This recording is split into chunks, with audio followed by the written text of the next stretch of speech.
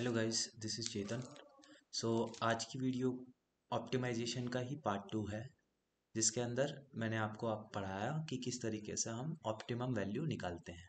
अब अगला जो है, वो है convex function so convex function क्या होता है? देखो, सबसे पहले तो इसके ऊपर एक थ्योरम है। तो वो थ्योरम हम समझेंगे, फिर आगे करेंगे। तो थ्योरम है कि एक फ़ंक्शन है आपका, जिसके अंदर है one minus lambda x one plus lambda x two वो लेस देन या इक्वल टू है किसके? One minus lambda f function x one plus lambda function x two के। ठीक है?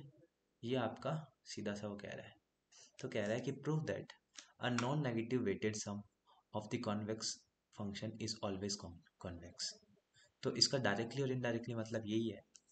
कि ये अपनों को प्रूव करना है। ये कह रहा है कि prove that prove that a non negative इसका स्टेटमेंट है negative non negative weighted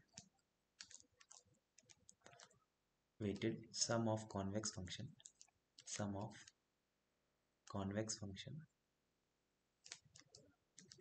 convex function is always वो हमेशा ही कॉन्वेक्स होता है, ठीक है? ये हमें प्रूफ करना है, ठीक है?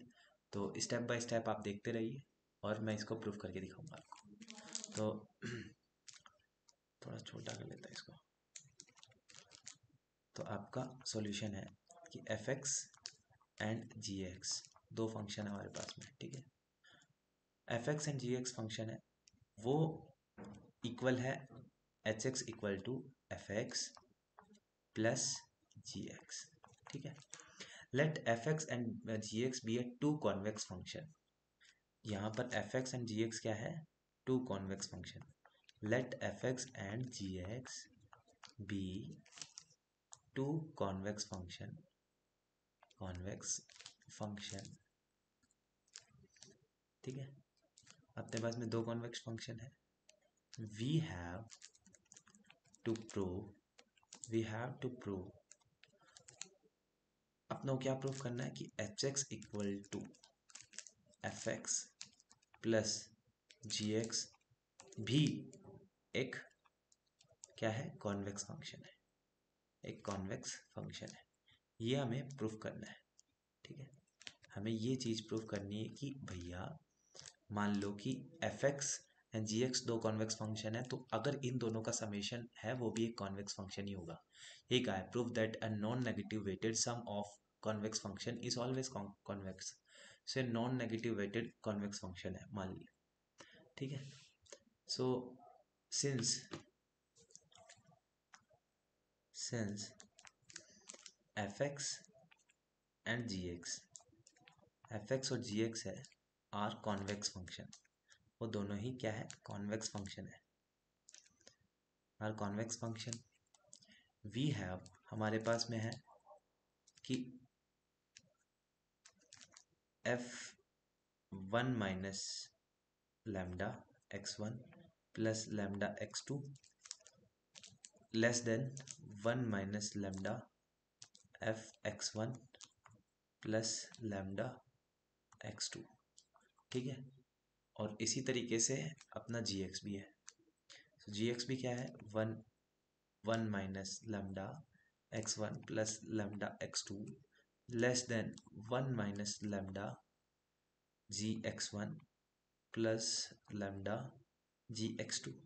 ऐसे ही है। अब टू प्रूफ हम दोनों को अपन को एक प्रूफ करना है कि h x is also a convex function to prove हमें दो चीज़ गिवन है। H x is a convex function convex function तो हमें क्या प्रूव करना है कि h x sorry h one minus lambda क्योंकि उन दोनों का सम है। Lambda x one x sorry x two less than है one minus lambda h x one plus lambda h x two के, ठीक है? ये हमें प्रूफ करना है। तो हम कंसिडर करते हैं लेफ़्ट हैंड साइड से लेके चलते हैं एल एच एस से। सो एल एच एस में क्या है? H one minus lambda x one plus lambda x two ठीक है? एच को कर लिया अपनों ने एफ़ प्लस जी क्योंकि एच अपना गिवन है, ठीक है? सो so, इसको हमने वो मान लिया। X one plus x two अब मैंने क्या किया? एक बार इसको इसके साथ में और एक बार इसके साथ में सेपरेट कर लिया। F one minus lambda x one plus lambda x two plus g one minus lambda x one plus lambda x two ये हमारा आ गया गिवन अब मैं क्या करता हूँ? ये इसको अंदर घुसाता हूँ और तो हम देखते हैं कि जो कांस्टेंट होता है वो तो बाहर आ जाता है, ठीक है? और ये हो जाएगा एफ़ एक्स वन इसी तरीके से कांस्टेंट बाहर और ये हो गया एफ़ एक्स टू वेरिएबल इसी तरीके से जी को भी अंदर हमने धकेला तो one minus lambda g x one plus lambda बाहर जी एक्स टू ठीक है? ये हो गया। अब मेरा दोनों में से वन माइनस लेमडा कॉमन आ रहा है। तो वन माइनस लेमडा कॉमन आ गया। और मैं इन दोनों को साथ में लिख देता हूँ। F x one plus g x one plus यहाँ पर इसमें से लेमडा यहाँ से इन दोनों में से लेमडा कॉमन लेकर और मैं इसको मतलब साथ में लिख दूँ। X two plus g x two देखो इसमें से और इसमें से वन माइनस लेमडा बाहर आ रहा था इसमें से कॉमन लेकर मैंने बाहर लिख दिया ठीक है?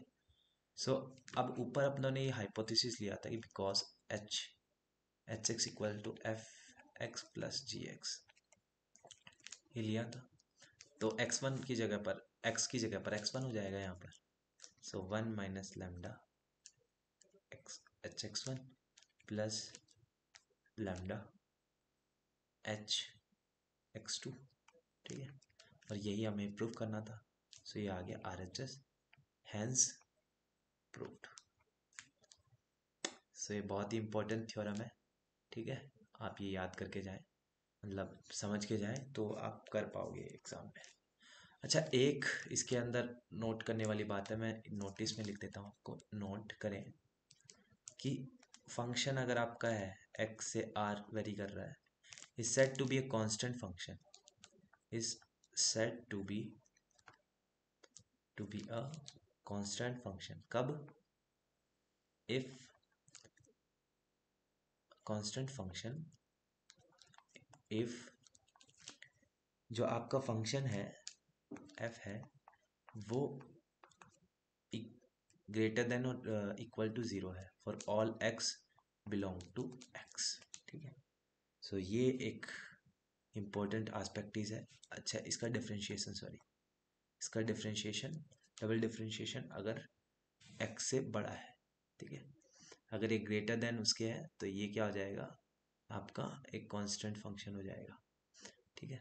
सो so, सबसे पहला क्वेश्चन है आपको पूछा है कि एक आपको एक फ़ंक्शन दे रखा है कि मान लीजिए ये एक फ़ंक्शन है। आपको प्रूफ करना है कि ये क्या है? एक कॉन्वेक्स फ़ंक्शन है। सो कॉन्वेक्स फ़ंक्शन है तो किस तरीके से प्रूव करोगे आप इसको कि ये कॉन्वेक्स फ़ंक्शन है? ठीक है? सो so, सबसे पहले हम इसको थोड़ा सा सही से लिख लेते हैं। लॉग टू एक्स है तो इसको लिख लेता हूँ मैं। एक्स लॉग लॉग ई की पावर एक्स और नीचे आ जाएगा आपका लॉग ई की पावर टू ठीक है? तो अब ये वाला कांस्टेंट हो जाएगा तो बाहर आ जाएगा और बाकी इसको अपन आराम से सॉल्यूट कर पाएँगे क्योंकि हमारे पास में लॉग टू का डिफ्रेंशिएशन नहीं होता है। सो अब मैं सिंगल डिफ्रेंशिएशन करूँगा इसका। सो ये वन अपॉन लॉग ई की पावर मतलब टू ये बाहर आ गया।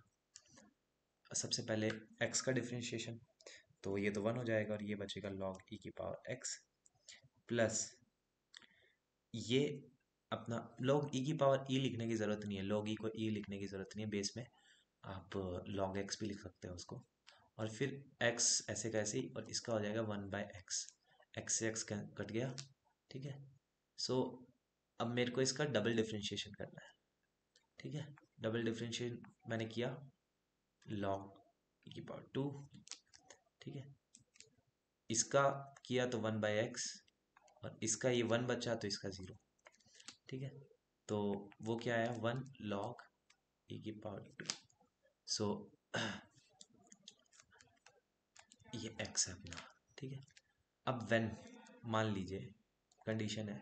When X greater than zero so ये डबल डैश जो होगा, ये भी क्या होगा? ग्रेटर देन और इक्वल टू ज़ीरो सो उस केस में एफ़ इज़ कॉन्वेक्स आपका एफ़ क्या हो गया? कॉन्वेक्स हो गया। जब एक्स ज़ीरो से बड़ा है तो डबल डैश भी क्या है? ज़ीरो से बड़ा है। ज़ीरो या ज़ीरो से बड़ा है। ठीक है? जैसे जैसे एक्स की वैल्यू बढ़ेगी, वैसे वैसे मतलब ये टेंस करता जाएगा किसकी तरफ़? ज़ीरो की तरफ़। तो इनिशियली अगर एक्स की वैल्यू वन है, तब ये मैक्सिमम है।